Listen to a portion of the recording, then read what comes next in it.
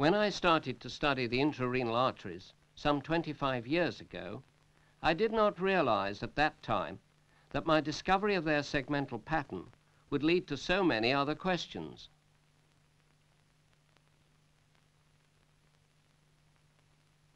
As the years went by, many of these questions were answered. The aberrant arteries and the nature of the renal circulation, the importance of the mesonephric arteries, and the blood supply of the horseshoe kidney all gradually fell into place.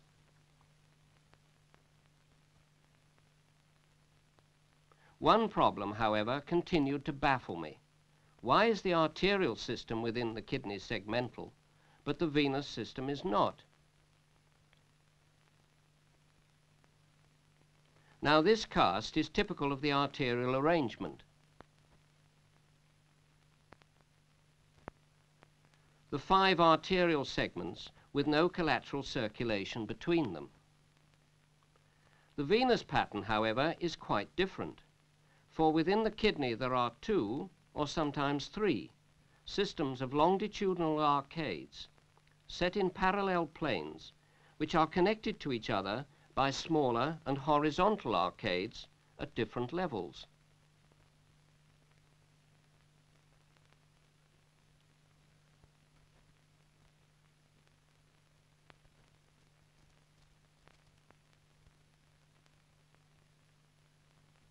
At first sight, there is no obvious connection between the arterial supply of the normal kidney and, say, the horseshoe kidney until you look at their evolution.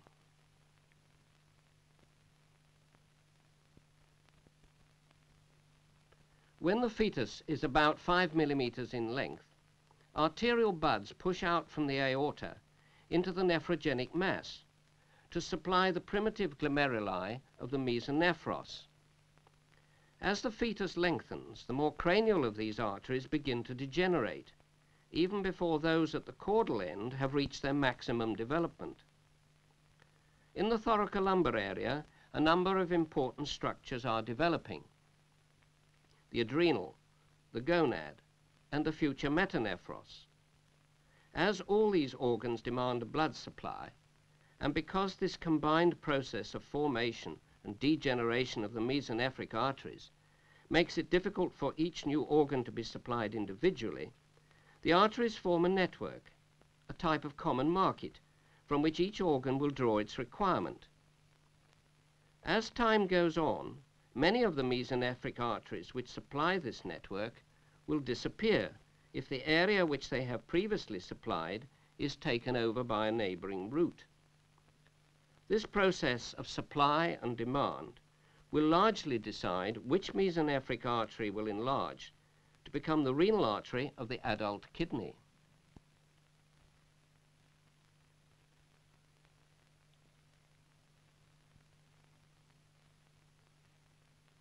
None of this, however, explains why the intrarenal venous system has a free anastomosis from end to end nor by what process the venous arcades have been formed.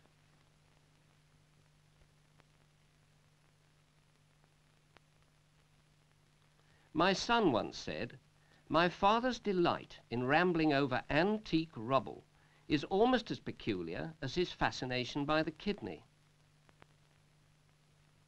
And yet it was this interest in archaeology which gave me the clue to the mystery of the intrarenal veins.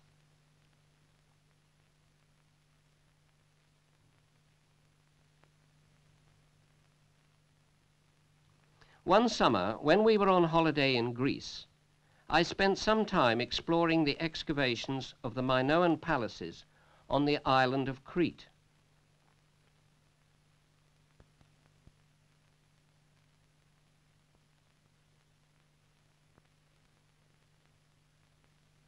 On the southern shore lies the great palace of Phaistos. In recent years, exploration in the southwest part of the site has revealed something of great interest. Beneath the foundations of the present palace, which itself is 2000 BC, lies evidence of an earlier palace, and beneath this in turn, remnants of an older and probably Neolithic building.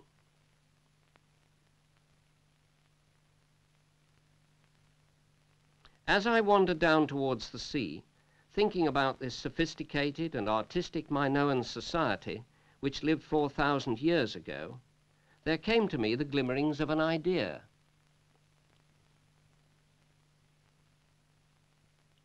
If successive generations of man, as a creative creature, tend to build upon the same site and to use the same building materials as their predecessors, then might not the very constituents of man himself and particularly his kidney, tend to do the same thing.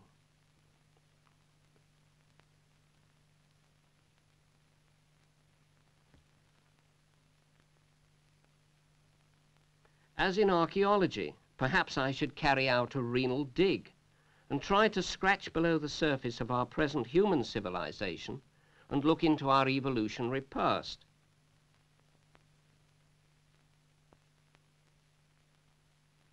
Although phylogenetically three kidneys appear successively in the higher vertebrates, like the three palaces at Phaistos, they tend to overlap one another, both in time and in space. In man, the life of the pronephros is short, for it degenerates soon after the mesonephros starts to appear. There is, however, an important point in this common theme for the intrarenal venous system and its arcades is a composite affair, and like the Minoan palace, it contains functional elements from more than one stage of evolution in its final structure.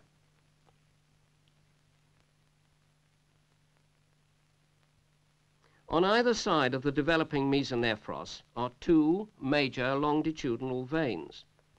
The posterior cardinal on its posterior lateral border shown in orange, and the subcardinal on its anterior medial side, shown in blue.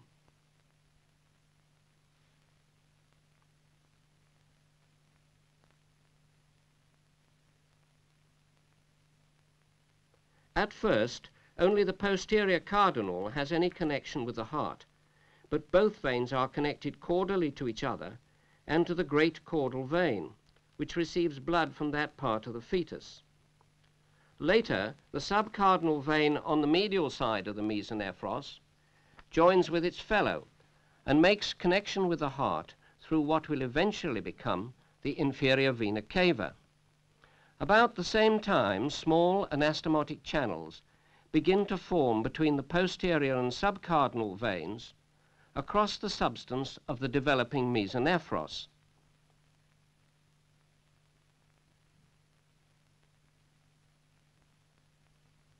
Further changes now occur in the two great veins. The posterior cardinal no longer drains to the heart, and the subcardinal loses its connection with the caudal vein.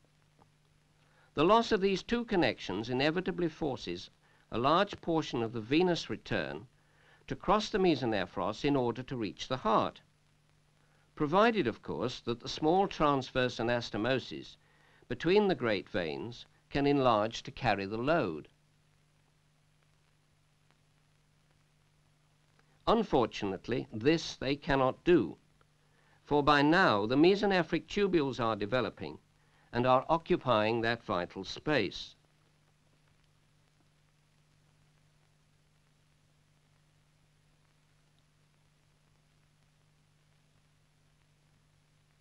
At first, the developing tubules probably only deflect the transverse channels. But later, as the tubules increase and occupy more space, they stimulate at first the formation of more horizontal channels.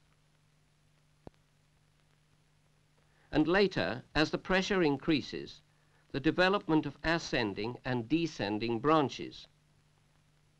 These will unite to form a longitudinal and horizontal network and so produce a collateral circulation within the kidney between the two cardinal veins. The last stage in this story is brought about by the disappearance of the connection between the posterior cardinal and the great caudal vein. And because the posterior cardinal vein has now no connection at either of its ends, it will itself disappear and leave only the horizontal anastomotic vessels and their ascending and descending branches within the kidney.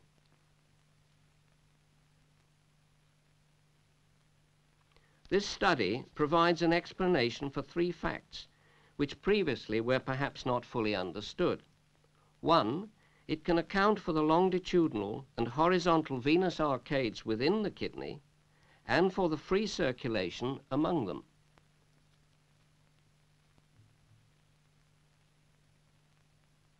Two, it explains the close proximity of the intrarenal veins to the pelvic calycine system and the ease with which the so-called pyelovenous backflow can occur. This, of course, is really a traumatic passage of radioopaque dye from the calyces into the thin-walled veins which lie around them. A similar rupture has been produced experimentally in this cast. Finally, it provides a reason for the existence of the occasional vein which passes from the cortex on the lateral border of the kidney into the perinephric fat. This solitary vein is probably an archaeological remnant of a transverse anastomotic channel, which, in the final dissolution of the posterior cardinal vein, has escaped destruction, and like some ancient waterway, although stripped of its former glory, is still in use.